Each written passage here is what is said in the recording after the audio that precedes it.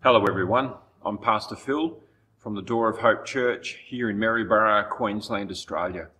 We pray and hope that these videos and messages are of encouragement to you in your walk with the Lord. Uh, hello to all our people from different regions in the country and the world. Blessings to you from here in Queensland. If you're benefiting from these videos, we'd encourage you to subscribe. And also, if you'd like notification when we upload new videos, we encourage you to ring the bell. If you'd like to make a donation to the ministry, there's a link in the comment section below. We pray and hope from the whole team here at Door of Hope that you be blessed by these videos. So we're continuing on from last week in the theme So Great Salvation, which is a three word statement by the writer of Hebrews, who very much seems to be Paul. That so great salvation encapsulates the fullness of all God desired to bring forth many sons. That's the thing that surely just to just immediately connect to our communion word, surely that great desire with which he desired to have that Passover, the last and then the first, the Last Supper of the old and the first of the new creation life, where many sons can now can be born of God's life, surely that great desire with which he was yearning to have that Passover feast was the the so great salvation. Surely that was what it says in the 12th chapter of Hebrews when it says, For the joy set before him, he endured the cross. Salvation is the first aspect and the second aspect. The so great, the so great salvation is being born again, receiving the life, and then being matured as we walk in intimacy with Christ. Now having our spirit full of Christ Jesus and our soul life, everything to do with our natural life, our whole intellect, our personality, our mind, our will, our emotions, everything to do with the human soul, being brought forth in the likeness from glory to glory to the same image. And that word image is not just an image like we think of just a sort of a reflection on a screen. That word in the Greek there is the substance he created man in his image. He created us in the, the substance of something to do with who he is, so that through the divine nature, through the new birth, we receive the very divine life of Christ. God Himself, the fullness of God, we receive. And then that is then be that from glory to glory. Glory is the presence, the Shekinah glory. That's the presence. That where, glory, where you see glory in the Bible, and I haven't counted how many references there are to glory, but it's an enormous study in itself. The glory is the divine presence. And when someone is born again, the, God takes up residence in that person's spirit, born, saved and no one shall ever take that from them. Jesus was so clear. The Bible is so clear about that, that it's an eternal salvation. But then there's the so great, there's the ongoing infusing of his life from glory to glory in all that we are as human souls. And then there's the individual and the corporate, because God's great desire was that he would have a corporate people called firstly called the church, then the bride, then the heavenly Mount Zion. Throughout all eternity, members of the building that God is building. In thinking of that song we often sing, how deep the Father's love for us, how vast beyond all measure, that he should give his only Son to make a wretch his treasure. There it is individually. We all sing it individually. This wretch, through the divine life, whosoever believes in him will have the everlasting divine life within them. And we all sing it individually, and then I love the way the, the song, that song goes on to sing, to, to bring the corporate. How great the pain of searing loss, the Father turned his face away. We sang that today. He was condemned, he came under the condemnation. Why? Because he took the place of the sinner. He became the curse of sin. He, he took our place there. And so the Father turns his face away. As wounds which marred the chosen one bring many sons to glory. How great salvation. Hebrews 2, verses 1 to 3. And yes, Pauline and Judy, I haven't forgotten to pray. We'll pray soon. Pauline Judy picked me up on that once, once upon a time. But just that little statement, which is the heading of what we're talking about, uh, so great salvation. For it was fitting for him, for whom are all things, and by whom are all things, inbreeding many sons to glory to make the captain of their salvation perfect through suffering.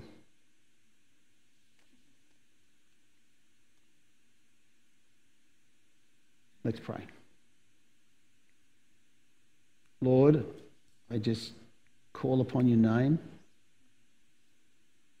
Lord, we tremble at your word, and I just pray that every word just be utterly aligned with you, Lord Jesus that everything I say today could be the miracle of a ministry of the Spirit, more than just even ministering by your Spirit, but a very ministry of the Spirit of Christ Himself. Lord, we call on your name as we speak your word and as we listen and hear your word. Do a work in us, we pray, through your word. In Jesus' name. So we looked last week at the two aspects, and I referenced out of the many, numerous references of the salvation past tense, I picked Ephesians 2.8, the Apostle Paul, he says, For ye are saved, past tense. These are the ones that Jesus was talking about in Nicodemus, about to Nicodemus in John 3. And we, we looked at how it's so clear. And again, numerous, but we're just picking one passage where Jesus was talking to Nicodemus, but many, many references in the New Testament that show that. To believe into the Lord Jesus is to receive the divine life. And that equals being born again. And that equals being saved. That's, we, we, we went through that last week, didn't we? Jesus was very, very plain on that. That to believe into him is to receive the life. And that is the same as what he was trying to explain to Nicodemus about what the new birth actually is, where you're born of the divine life. And then he summed it all up after John 3:16, for God so loved the world that he gave his only son that whosoever believes in him will not perish but have everlasting life. 7 chapters later Jesus says, for I have given them eternal life. These are my sheep. My sheep hear my voice. They now know me in spirit. Their spirit's been enlivened. We can now communicate. You can now worship. We now have an intimate walk because you're born of my spirit. You're born of God. And then he said, For God did not come into the world to condemn the world, but the world through him might be saved. To be saved in that first aspect is the same as being born again. And born again, being born again is the same as having the divine life. Then we looked at the second aspect of going on in that salvation, which is where the person, the individual, is through this mysterious thing that's difficult for us to get our human minds around in the scripture because we're, we're looking at the ways of God, but this mysterious interplay and relationship between doing works that are the will of the Father and being transformed in my soul, in my natural life. Being transformed as I am conformed more and more to his death. So he says, Take up the cross. He said, Whoever wants to follow me. He's talking to ones who are born again, they're saved. These are ones who are already believers. But now we're talking about the second aspect of salvation. And he says, if, if you love your soul, you'll, you'll lose it. But if you hate it, you'll find it.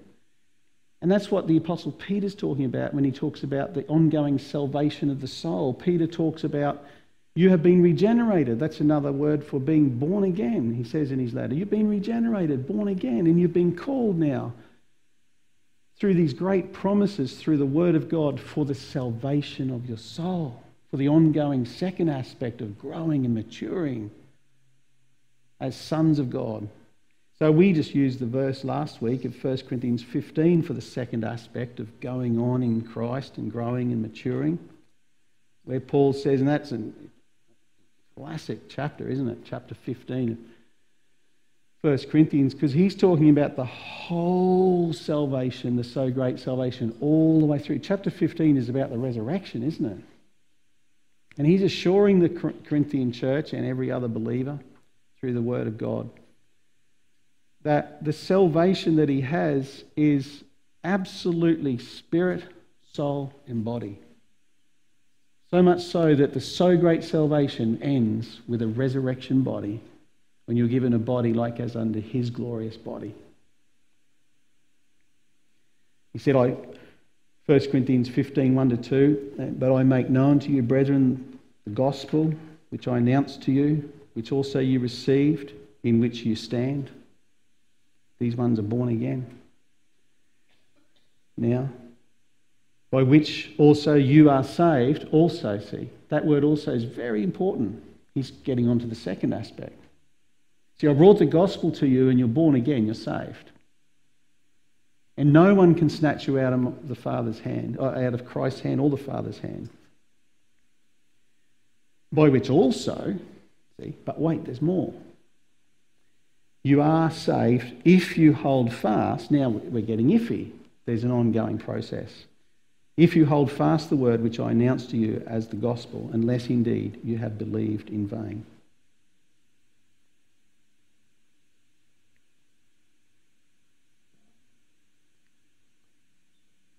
So this is God's favourite subject. This is God. This is the whole. This is the whole everlasting covenant purpose. Isn't it amazing when you read Genesis, right from the beginning of the Bible? And before there's anything made or created, we've got God, 1 and 3, speaking us and we, God singular, God Adonai, Adonai is the Hebrew there. God, sing, and that word is a singular word. One God.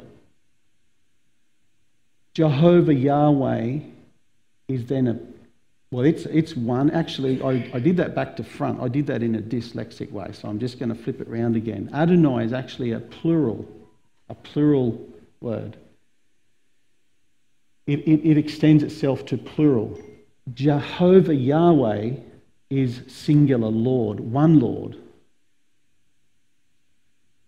And you've got the Lord God there, and it says, Let us make man in our image. How amazing! That before anything was created, before even the heavens were created, the heavens weren't eternal. God's eternal from an eternity past. He was there.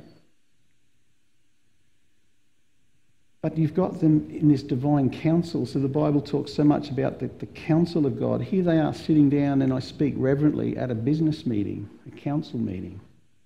God the Father,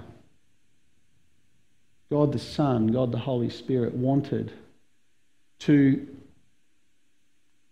fulfill their great, their eternal purpose, which was to invest their own life, to actually allow their own divine life to come into a creature called man.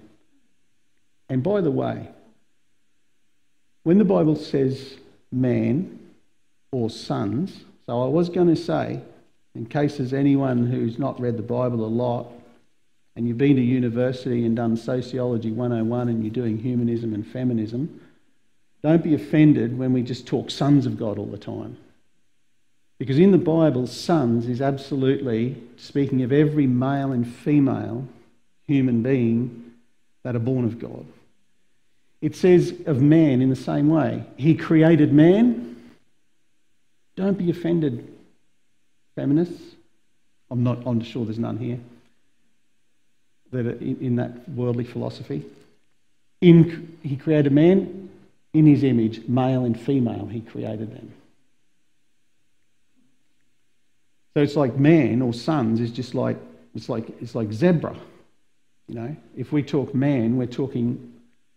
Sometimes it's specific. You've got to read the context, man and woman, of course, because we have the gender in this life in that way.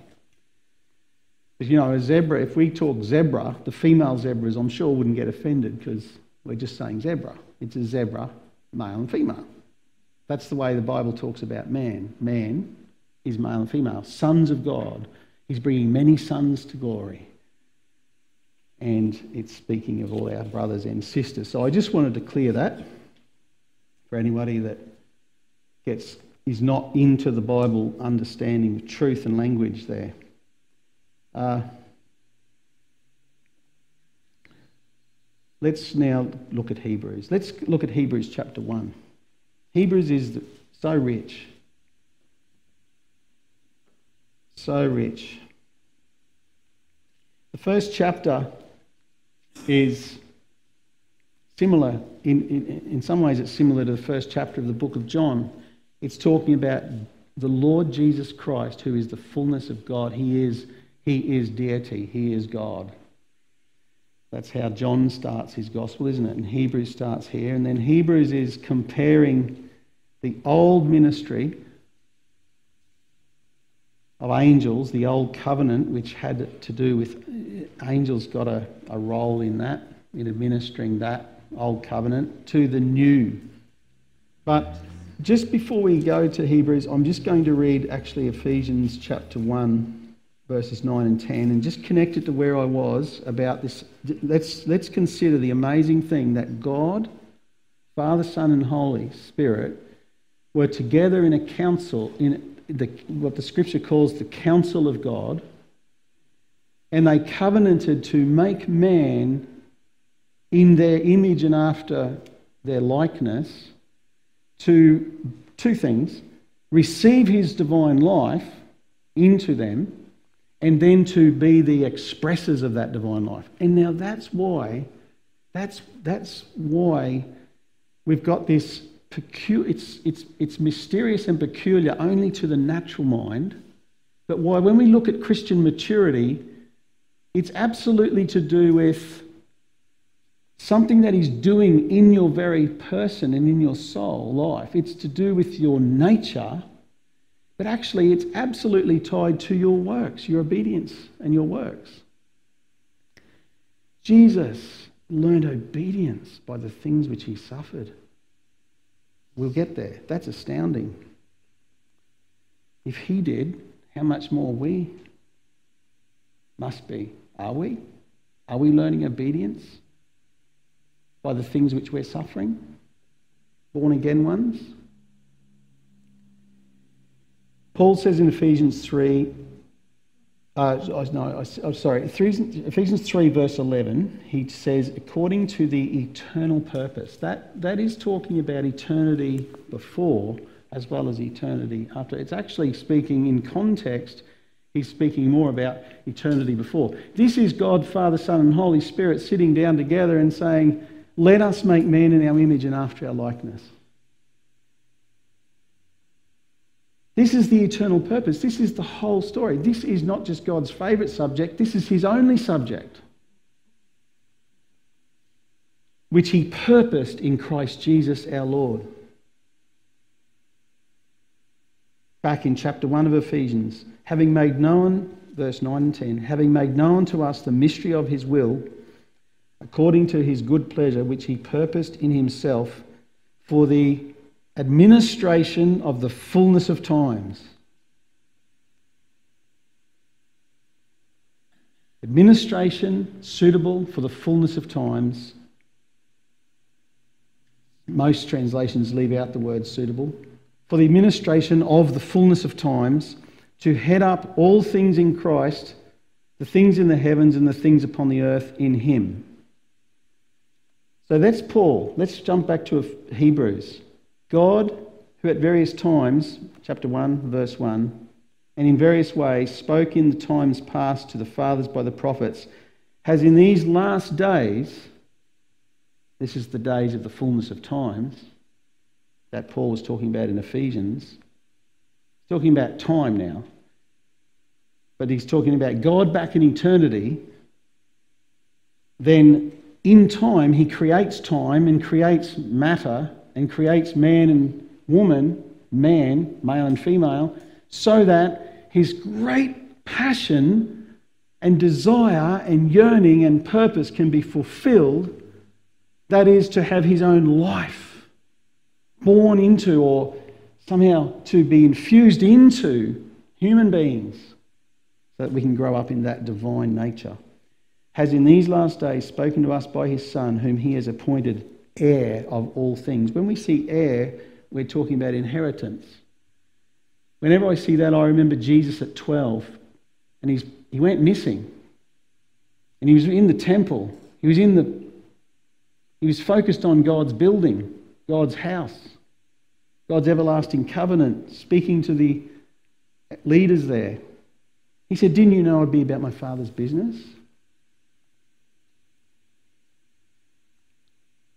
Jesus inherited all things, and then in him, the Bible says we are to be co heirs with him. That only, that inheritance for the sons of God happens to the extent that we are about our Father's business. Not all sons of God will inherit the same as others because this, has, this inheritance has to do with the second aspect of salvation, of learning obedience by the things which we suffer, we're suffering. Who, being the brightness of his glory and the express image of his person, Jesus Christ the Son, the fullness of God, the, the, the fullness of the glory of God, and upholding all things by the word of his power, when he had made himself when he had by himself purged our sins and sat down at the right hand of the majesty on high. So he was incarnated.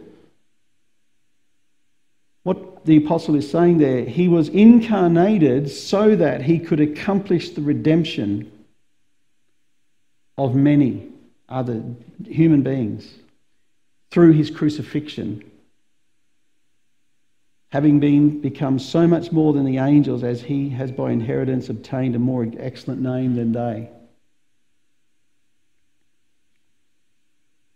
For to which of the angels did he ever say, You are my son? Today I have begotten you. There was a day when Christ was begotten of God. And that day was the day, I'm going to strongly suggest, of his resurrection.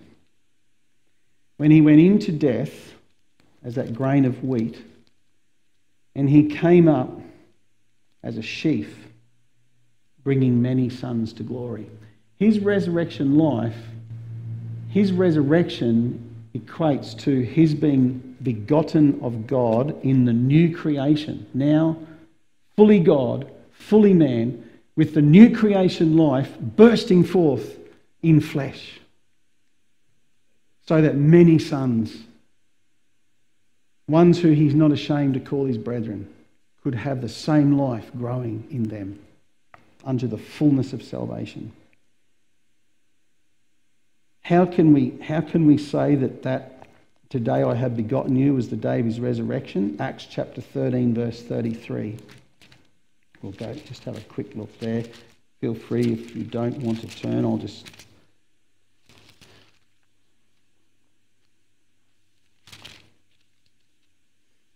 and there's a preaching going on in Antioch, I believe, um, by in, um, Jerusalem. This is right at the beginning, isn't it? Acts. Oh no, this is 13, Antioch, yeah. Um, I'll just pick it right up just so we can keep moving on. And we declare to you the gospel, that promise which was made to the fathers.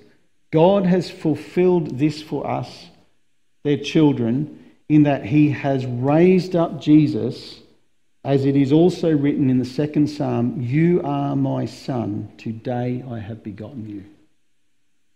Now, the resurrection of Christ Jesus was the day that he was begotten as the Son of God, where the fulfillment of what he did through the cross was for forgiveness of sins and cleansing and washing and, and uh, justification in that first aspect of salvation. But it was everything of the provision for the life now. And, and the Apostle Paul calls Jesus the life giving Spirit. Since the resurrection now, begotten of God, when the Holy Spirit comes into the, the one who believes into him, they are born again. But where, where the Spirit is, they're all there Father, Son, and Holy Spirit.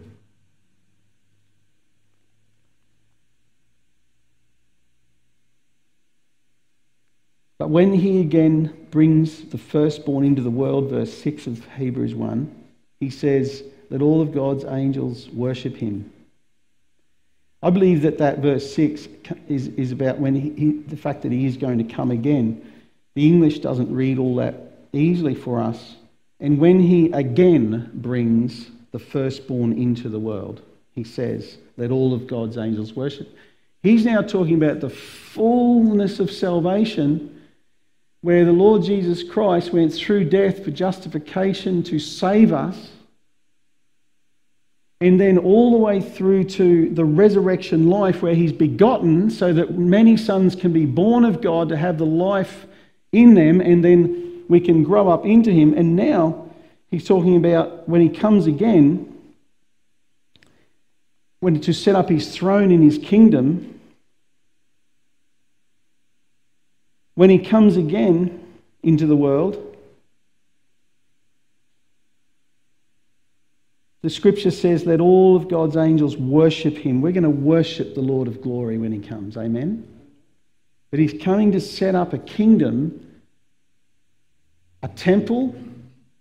The scripture talks about a Temple, which is going to house the divine nature of God throughout all eternity. It talks about a sheepfold. It talks about a body, the body of Christ. And it talks about a field, a building, a field. All of these are talking about the one thing God's building, which is the ongoing maturity of the sons of God to fulfill God's everlasting covenant purpose, to have a corporate new man expressing his life, the divine life throughout all eternity. Your throne, O God, is forever and ever. A scepter of your righteousness is the scepter of your kingdom. You have loved righteousness and hated lawlessness. Therefore, God your God has anointed you with the oil of gladness more than your companions. That was why Jesus so longed for that supper.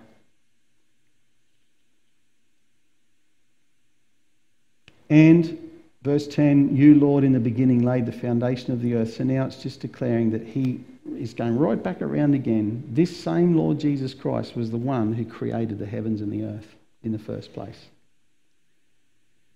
You, Lord, in the beginning laid the foundation of the earth, and the heavens are the work of your hands. They will perish, but you remain, and they will grow old, etc.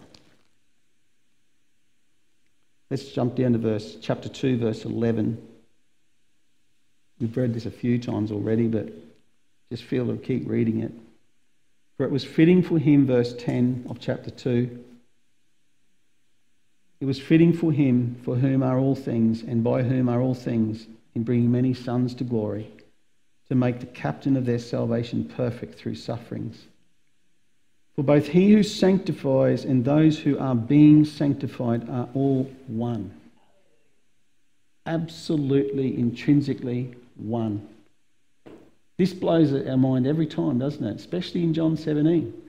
Because it goes all directions. He's saying, Father, I'm one with you, you're one with me, they're one with me, they're one with you. An, this is the amazing everlasting covenant that God would come into man and that man would come into him. And that there is one temple, one heavenly Zion, which is made with the material of the sons of God, which is the substance of the glory of the divine nature that we, we, we, we meet in Christ Jesus. He who sanctifies and those who are being sanctified are all of one, for which reason he is not ashamed to call them brothers. Uh, you know, that's another thing. It was only when he had rose from the dead, like we were saying before, the resurrection was the point where he became the begotten Son, the firstborn among many brothers with the divine nature.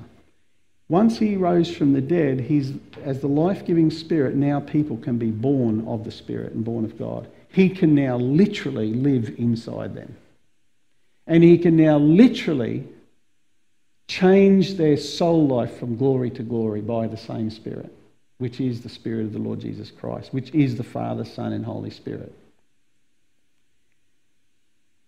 And see, this calling them brothers we, we, can, we can confirm it because it was only once he had rose from the dead that he said to Mary, Go and tell my brothers. He'd never talked about them as brothers until then. Now they were essentially and truly and literally brothers because they could now be born of the same divine life. I will declare your name to my brethren in the midst of the assembly. I will sing praise to you. When we gather as the called out ones, the church, born of God, Jesus is not just singing beside us. He's not singing, he, Jesus, is worshipping the Father. These are the words of the Lord Jesus to his Father.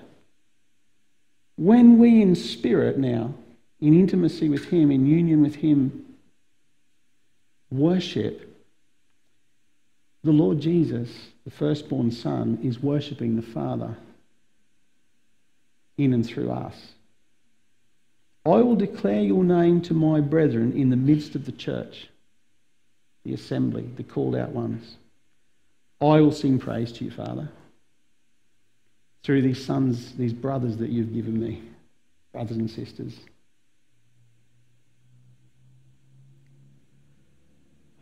I will declare your name to my brethren in the midst of the church. I will sing praise to you. And again, I will put my trust in him. And again, here am I and the children whom God has given me. These are the words, the worship of the one who sanctifies many sons. Okay, let's go to Paul again. 2 Corinthians. Let's go to 2 Corinthians. I did say at the beginning of last week that I'm just going to go all over the place. And I've almost pleaded with the Lord if I could just be systematic, but it doesn't seem I'm allowed to be. So I'm just. 2 Corinthians, 2 Corinthians, second chapter. 2 Corinthians 2,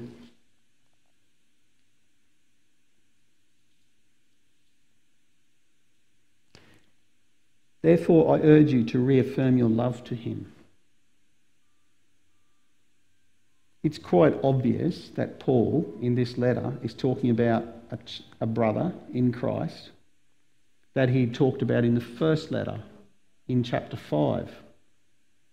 And that brother had committed a really terrible sin, like a, like a particularly, Paul said, not, you don't even see this sort of stuff amongst the Gentiles is, is an immorality, an incest type, or, a, or something within the family. But Paul, in his great love for this brother who was born again and saved, clearly, you can clearly see by the language that this guy was saved, born again, but he'd done a terrible thing. And Paul said, Deliver him to Satan for the destruction of his flesh, that his spirit may be saved in the day of Jesus Christ. Paul also says that your whole, in Thessalonians, he says, that your whole spirit, soul, and body may be preserved blameless at the coming the appearing of the Lord Jesus. This guy, his spirit was saved, but Paul was saying he, he needs to have it preserved in that reality of the divine life. And he, he, he asked the Corinthians to actually stop, put him, put him out of fellowship as a discipline. And the beautiful thing is that when we get to the second letter, we find that this guy is gloriously, the discipline worked. Book of Hebrews goes right into the way that God the Father disciplines all of his sons.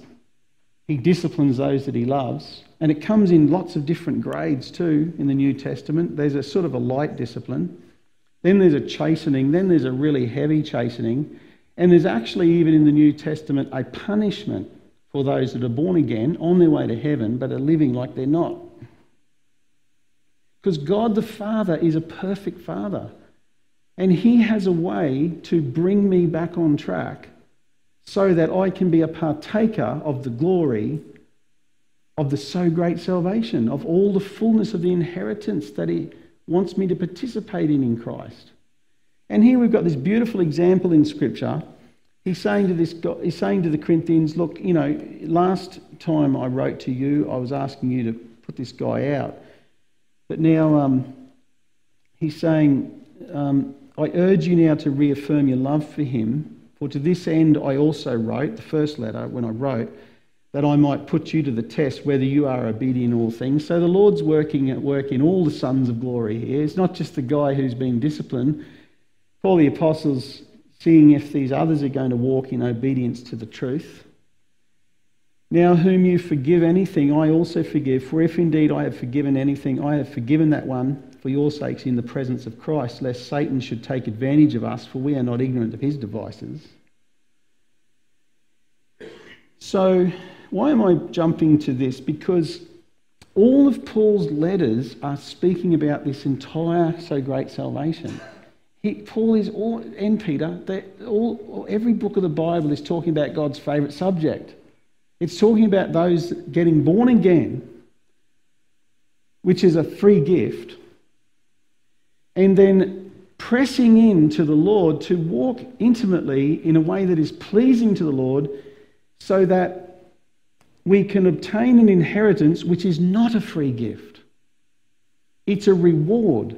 When we get born again, that's not a reward for anything. It's just a, it's just a gift. We are saved by grace through faith, faith Ephesians 2 8, and this not of yourself, it is God's gift. So every letter is like this. This is why it's been hard to prepare this word because I keep sort of jumping around. But um, so he's, he's talking about this guy who's being disciplined. And then we get to chapter 3 in the letter, verse 6. Who also made us sufficient, and I'm just all I can do is pick it up in mid sentences because Paul never, either never was taught by his English teacher to not do big long sentences, or he didn't listen to what his teacher said, or he didn't actually speak English, which I think might be it.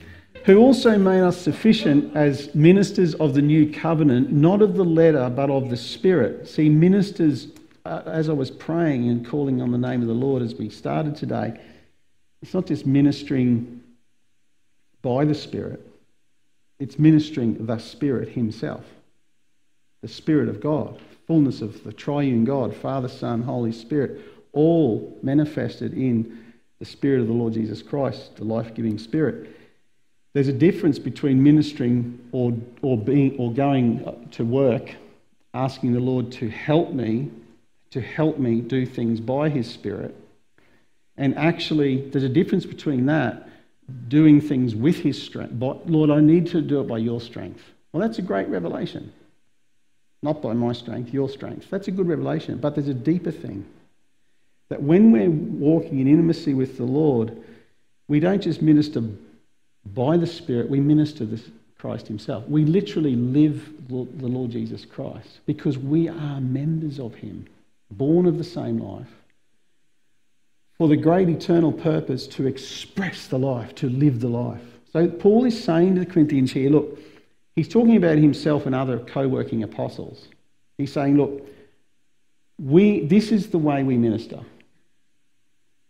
We have, we, we have had a revelation of the glorious covenant of God. And we, when we minister, we don't just ask Him for His strength and then try to prepare a good sermon. We are literally ministering the life into which, by which you've been born of God, the, the ministry of the Spirit. So he's comparing this then. And then he says, then he compares it with the old covenant, which was a ministry of angels. The angels have uh, some sort of a role in, in the old covenant, evidently. But if the ministry of death written and engraved on stones was glorious, so that the children of Israel could not look steadily at the face of Moses because of the glory of his countenance, which glory was passing away, how will the ministry of the Spirit not be more glorious? I'm going to have to finish real soon. I know that. Pauline, I know that. Because I actually didn't look at what time we started. So what? Oh, we've got it. Oh, look at that. It's 40 minutes. Got at least at least five minutes. Um, so then he says, okay, so he's describing the ministry, the New Testament, New Covenant ministry. Since Christ rose from the dead, now you can not only be born again, but the very life of Jesus, which is the fullness of the divine nature, can actually be worked in you. And as we looked at last week in 1 Corinthians 15, every star, which is the symbol the Holy Spirit chose to use to symbolize sons of God who are born again, starting in First uh, Genesis 15 with Abraham, and then 1 Corinthians 15, every star differs from star in glory. The way that the glory of Jesus in you is going to worship the Father throughout all eternity and be obedient to whatever the works are. He's, there's, it's going to be a busy time. We're entering into rest when we're, in, when we're no longer here. But that rest is going to be a very active rest. The Bible is so clear. The Lord has so much for his sons of God to then go and express. We, it's just beyond us. The scripture doesn't give us much information. But one thing we do know is that the way the glory of you, see, being glorified is the presence of Christ, firstly in your spirit, then throughout all of your soul life, as you hate your life, deny the self, and say, Lord, I don't want this to be me. You live. It's no longer I that lives. Let it be Christ, your Lord, you live me. You live me, Jesus. I surrender to you. You live me. Lord, I, that attitude there, that's nothing but pride. Lord, I, can, I want that to be committed again to your death. Purge me, change me, glorify. See, this is the glorification of the sons of God, bringing many sons to glory. And then the, the, the final glorification is a body glorified. Jesus was glorified in a new body. The Bible is very clear. The spirit gets regenerated. That's a, that's a miracle working of the power of God when we're born again. The spirit is regenerated, the soul is transformed, and then the body is transfigured. Just like when Jesus said, Come on, I'll come and I'll show you, up on the mountain. And then he just, the glory, the radiance of light, just, he just, he's just turned into this. The, the scripture seems to just be struggling, certainly in the English language, to the, the glory of the, that's that Hebrews 1, the effulgence of his glory. That we're, it's the glorious presence. And they watched him. He got them to witness his body being transfigured into the new glorious body. And then the angels came and say, what? And then he, off he goes. He ascends now. Once being glorified, now he's ascended.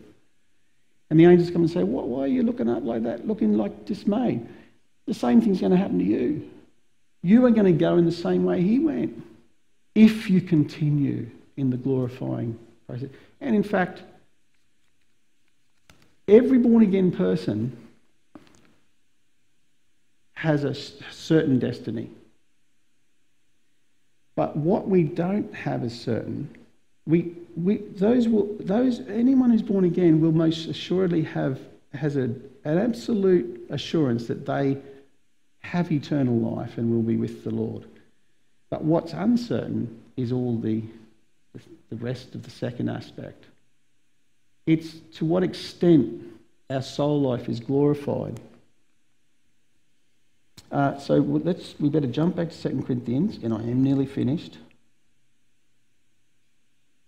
So he's talking about his ministry. So, so this is clearly not ministry to get these people born again. This is clearly the ministry of the new covenant, which is for all of the church by the ministry of the apostles to achieve something, to achieve that second element of our maturing life. And he says, let's go to 2 Corinthians verse 6 now, uh, chapter 3, verse 6. He made us sufficient as ministers of the new covenant. Um, no, we better jump, jump down to. So he's, he's, he's, he's comparing and contrasting the glory of the old and the much greater glory of the new in Christ. Verse 14, but their minds were blinded, for until this day the same veil remains unlifted in the reading of the Old Testament. So that's the Old Testament again, he's comparing. Nevertheless, when one turns to the Lord, the veil is taken away. Now, the Lord is the Spirit. The Lord is the Spirit. Father, Son, and Holy Spirit are distinctly are distinct in the Scripture. They are distinctly three but you cannot separate them. One God. The Lord is the Spirit, and where the Spirit of the Lord is, there is liberty.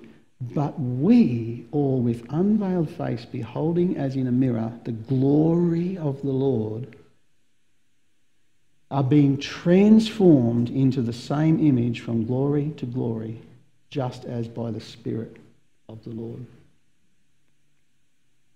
And in actual fact, I think in the English, you, you, in, in the Greek, you can take out of the, just as by the Spirit Lord. Because it's, it's talking about two verses before, the Lord is the Spirit. But this transformation, brothers and sisters, this, this is, this is, um, this is mind blowing, isn't it? Oh Lord, help us, illuminate us, Lord, to the glory of your gospel, your so great salvation. That same image, that's let us make man in our image and after our likeness. This is now being transformed in the substance of the reality of the firstborn Son, the Lord Jesus Christ. And Paul is firstly talking about him and his co workers. He's saying, This is our ministry, this is what's happening with us. Every day, and actually most probably every hour daily or and or hourly we are being transformed into the same image of the firstborn the lord jesus christ. Are you being transformed? Am i being transformed? Am, are we, how are we living our newborn life as sons of god? Jesus learned obedience by the things which he suffered. Of course, he didn't, he didn't need to have his nature changed. He had no sin nature. Jesus didn't need to uh, get a, a, better character. I know I sure have. The Lord's had a lot to do in this character. So, what's the, what's the Bible talking about then? See, it's talking about something way beyond just dealing with sin. It's talking because Jesus had no sin. But he was learning obedience by the things which he suffered. And we get back again to this thing that's difficult for the natural mind to understand that in actual fact, maturity is as much about being obedient to the works of the Father and doing works. We're not saved by works, it's a free gift. But we are saved in the second aspect as we fulfill the works of the Father. Many will come to me in that day, he said, and he said it to the Christian, he said it to his believers in the Sermon on the Mount when he took them in Matthew chapter 5, 6, and 7. A big, long teaching. His first teaching to his own people, the believers. He leaves the crowd and takes his disciples aside and says, Look, I've got to teach you about your life in me. And then he gave them that horrifying warning, and he was kind of saying it prophetically. He was talking about a time that's yet to come. Many will come to me in that day, and the day is very clear when I think it's very clear what that day is. It's the day of his judgment. It's the same day as Brother Phillip has been ministering the last couple of sermons of last year. He's been talking about building on our salvation in 1 Corinthians 3. And it's, it's, it's, the judgment seat. It's not the great white throne. It's not the place where a thousand years later, after the millennium, that the unbelievers will be judged and then cast into that terrible place where Satan and his angels are going. This is the judgment seat of Christ for his own people. And it's a day of fire, and it's a day of great loss. It's a horrendous day. It's a day of chastening. It's a day of reward. And the reward has to do with how much I've fulfilled the works of the Father. And then that mysterious connection there somehow. You, you can't separate them. It's, it's how much I've fulfilled the works of the Father and how much I've allowed him to change me. See, what it is, it's, it's divine nature and righteousness, righteous works. It, the, two, the two are inseparable. From glory to glory, he changes us in our very nature of who we are, our very soul life, to the image of the Lord Jesus Christ. But at the same time, it's got to do with my obedient works, and so there's a reward for the end. They're not saved by works, no reward there, but for this there's a reward. I better close in prayer. Lord, we just cast ourselves before you, and we, Lord, we just always, whenever we come to your word, we are just um, thank you, we're not overwhelmed. And the only reason for this is because we have this such great hope. That hope is you, Lord Jesus. Thank you that you indwell us, Lord God. Thank you that we are sons of God, as we sang today. That we are, a, I am a child of God. Hallelujah. Thank you, Lord. Lord, we just pray you continue to work in us for your glory, according to your word, in Jesus' name. Amen.